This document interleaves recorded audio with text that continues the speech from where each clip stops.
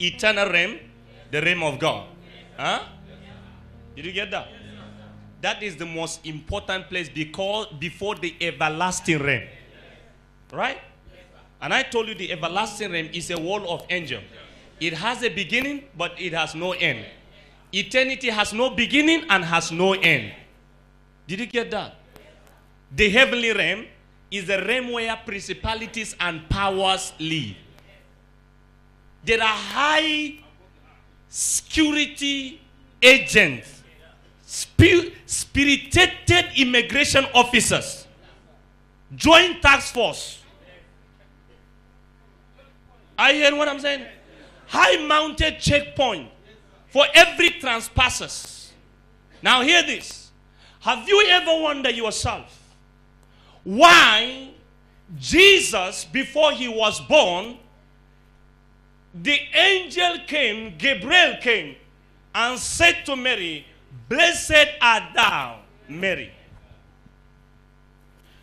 that you shall bear a son. But the angel was taking permission to enter the activities of the spirit in a woman because it is not even legal for spirit to interact with a man without a permission. And that is why, ladies and gentlemen, when you see somebody demonized, it means the person is not born again. A child of God cannot be possessed with evil spirit. You can only be bewitched. Demons can bewitch you. They can manipulate you. But you can never be possessed. Oh. Child of God, if you hear anybody say that born again Christian is possessed, it's a wrong statement. It's an, it's, it's an accusation. And the Bible says that the devil is the accuser of the brethren. You cannot get born again and still be possessed. You can only be bewitched.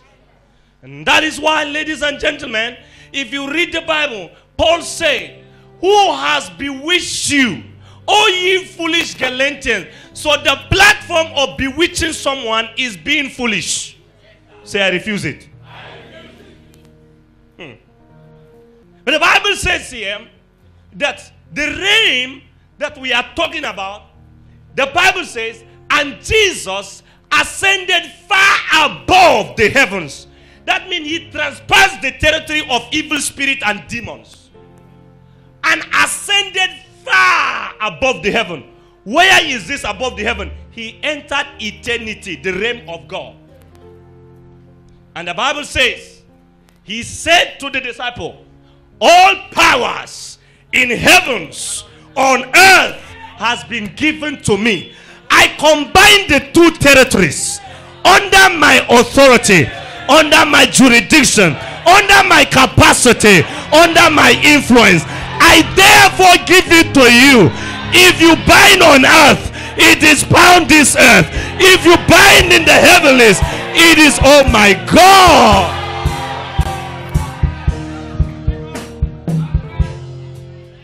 Sit down. Are you understanding? Jesus combined the two realms. Tell the realm of the earth realm and of the eternal realm and of the everlasting realm. He said, These border checkpoints you have been having whenever you pray, if you bind them, you will pass. They will not know you have passed their territory. All powers in heavens, on earth, has been given to me. It is under my jurisdiction. Are you? Do you know why Jesus said this? Is because he overcame the devil. The Bible lifted, the Bible says Satan lifted him up to the hill, up to the mountaintop, and said to him, If you can bow to me, I will give you all this thing because it has been given to me. Do you know why? Satan was seducing him. Many of you, Satan seduce you of what you already have. He made you to tell lies about what is your own.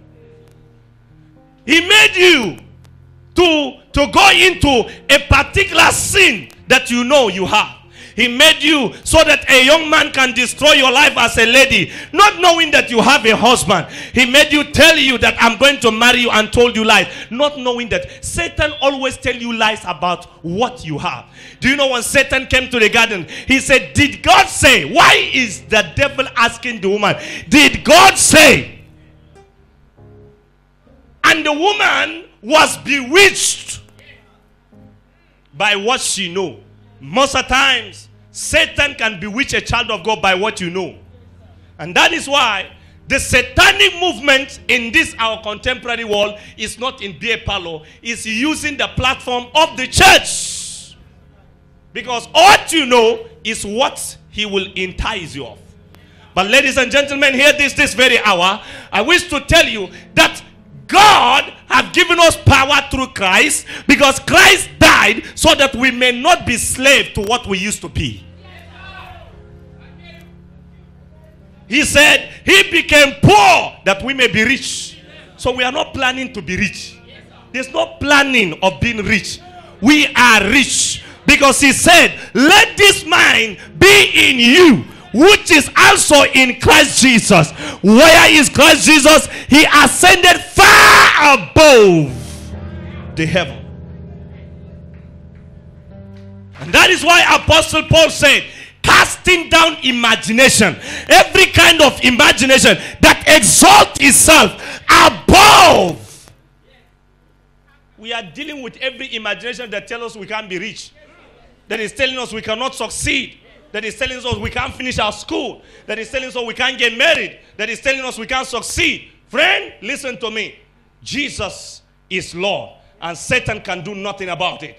We are not in a negotiation. We are not in a compromising mood. We are not soliciting for help. We are not at disadvantage. We are not refugees. We are not in the IDP camps. We are not under pressure. We know who we are. We know Christ lives in us. We can do all things. We know we are overcomers. We know we are more than a conqueror. We know we are winning the case. We know we are overtaking the enemy. Jesus is Lord. Satan can do nothing about it. Come on, give Jesus a shout. That is why God sent me to you. I am sent to you.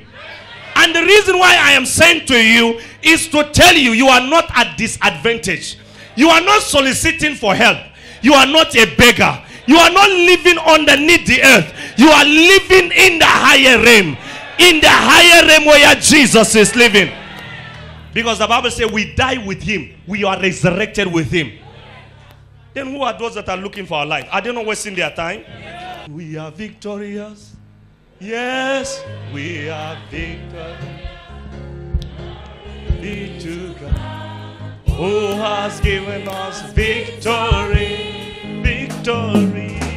We are victorious. Come on. Yes, we are victorious. Come on, somebody. Glory be to God, who has given us victory. Are you hearing this? It's not the government that gave you victory. You are not free by independence of the government. You are not free by the salary. You are not free by them. You are free because glory be to God who has given you victory. You are not free by a pastor. You are not free by a prophet. You are not free by an evangelist. You are not free by a teacher. You are not free by an apostle. You are free by Jesus Christ who has given you victory. You are no longer a slave.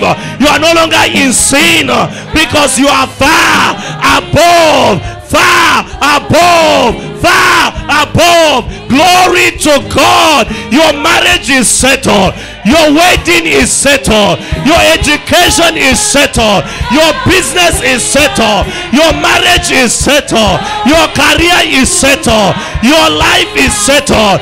Glory be to God. Your promotion is settled. Your job is settled. Glory be to God. You are not at disadvantage. God is in you. Jesus is with you. Come on, somebody shout. We are victorious. Oh, we are victorious. Glory be to God, who has given us victory. Why are they looking for your life at all end? They are checking your mistake everywhere. Forget about them. They want to know your past before they mingle with you. Forget about them. The Bible says all things has passed away. Behold, the new has come. I don't care what I did yesterday. I am not living in my yesterday. I am living in the future because Christ died for me. And if Christ be for me, who can be against me? I am not negotiating with a man. I have the Bible as my constitution. I am living by section 1 uh, of book of John, uh, subsection 1. uh, as I read, uh, are you hearing what I'm saying? Uh, if ah, yeah, yeah, yeah.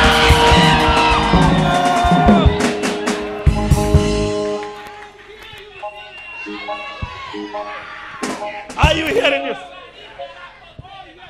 Why are they condemning you? The Bible says in Constitution, Romans chapter 8, uh, the Bible says, There is therefore now no condemnation to them which are in Christ Jesus. In Christ Jesus, we are covered. In Christ Jesus, we are protected. In Christ Jesus, we are overcomers. In Christ Jesus, we are going further. In Christ Jesus, we have our job. In Christ Jesus, we have our marriages. In Christ Jesus, we have our children. In Christ Jesus, prosperity. In Christ Jesus, we are holy. In Christ Jesus.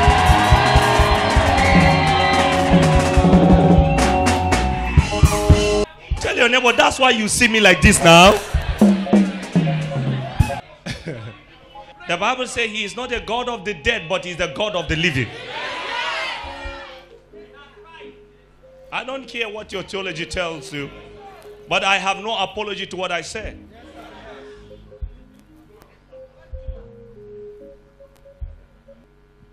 I will do my best as a man of God to teach you the word of God to come alive. Gone are the days whereby your life is full of complaint. No, no, no. Tell your neighbor, no, no, no, no, no, no, no, no. Say there's nothing like come and plain.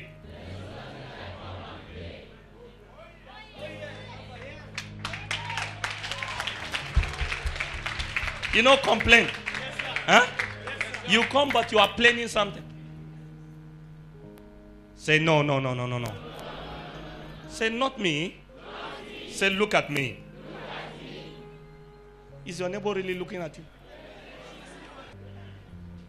So, the, the, the, the realms of God is what we need to know before we pray.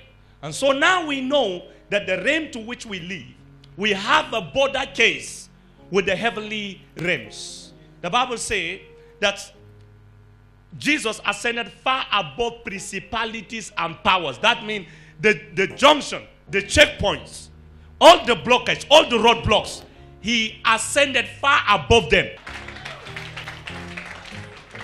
Some of you, you have given too much attention to your problem.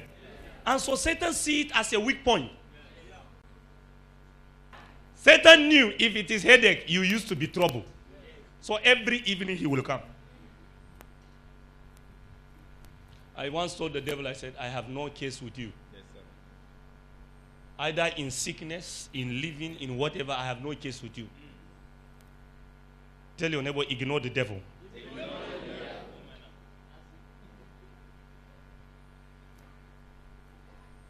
Some of you, the devil know that the only time you will fight with your family is when you don't have money. He will block every, every side of the money and say, okay, today I engage you for fight. Say, no, I refuse temptation. I will not fight anybody. Say, okay, we will see.